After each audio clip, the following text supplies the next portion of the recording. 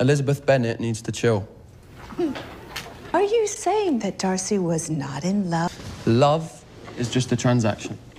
A set of desirable traits, and we can turn it off. It's a load.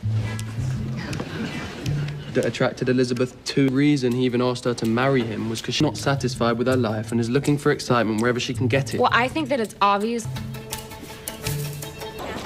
I enjoyed it. Look, whatever you're thinking, Us. I thought we were talking about Pride and Prejudice.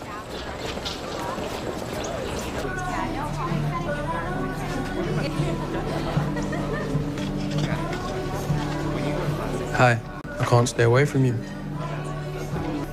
Well, we're gonna see each other. I'm friends with Steph, and you're Tessa Lestrus. I'll see you around.